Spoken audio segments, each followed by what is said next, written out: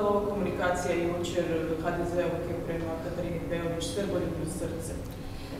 Mislim, e, u zeleno-ljevom bloku svi imaju srboljubna srca. E, mislim da je zabrinjavajuće, dakle ne samo zaista, e, kako da kažem, užasno, nego i zabrinjavajuće da u 2023. saborski zastupnici većine u Hrvatskom parlamentu drže da je uvreda nekome poručiti da ima srboljubno srce. To je doista duboko zabrinjavajuće.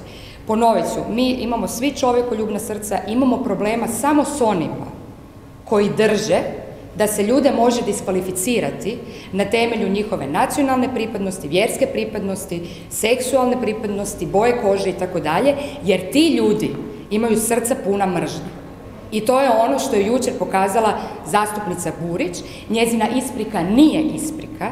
Svaka isprika koja sadrži ali u sebi, kao što je njena sadržavala, to se i djecu od tri godine uči, znači da nije preuzeta odgovornost i da se ona nije zaista ispričala za to što je rekla i držim da je to zaista problematično. Ta razina govora mržnje je po meni nečuvena. Je li problematična i druga razina govora u sabornici? Jučer gospodin Grbin govori premijeru, jeste li vi glupi?